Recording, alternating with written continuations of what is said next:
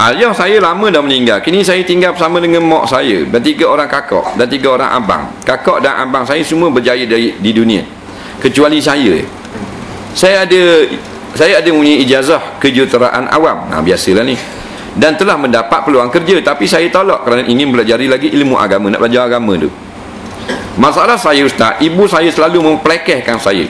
Di dalam rumah saya sering dianggap tiada oleh ibu saya dan adik-beradik. Orang anggap dia tak ada dah pasal dia mengaji agama sangat ne ha inilah akhir zaman.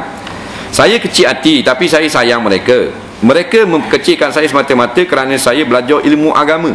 Ha itulah dunia akhir zaman ni tak siapa anak belajar agama orang patut tupang waksi kunyi ya nak ha, ni dak ne jadi pelekeh pula dah Padahal dia mati ikut jalan agama. Mak dia mati ke bola kotak kok ni.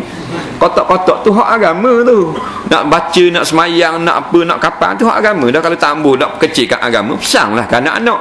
Kalau mak mati kat gigi jangan buat pesen agama eh. Pasal mak tak kenal ngaji agama ni. Jadi kalau mak mati gigi jangan kapang, jangan mandi, jangan semayang. Nak buat macam ikan kering. Eh, ubur kat buah musim nak pusing. Ha dia gitu. Patut jawab gitu ke mak ayah. Hak jenis mak ayah tak berahi ke agama. Nah, dah kalau tak berahi agama, apa ikut jalan agama? Dah sakit pergi Mekah apa dia? Bodoh-bodoh pergi pergi Mekah. Dah Mekah tu apa dia? Hak, bukan hak agama. Hak kerja Malaysia ke? Nah, dah sakit yang Mekah. Ha. Saya tertekan. Apakah patut saya lakukan? Adakah saya patut derhaka ibu bapa saya? Saya datang ke kuliah pun bersembunyi-sembunyi. Saya tertekan sungguh jawabnya tak boleh derhaka. Mak ayah adik-beradik muda faham agama lagi. Jadi mu dakwah lah ibu bapa.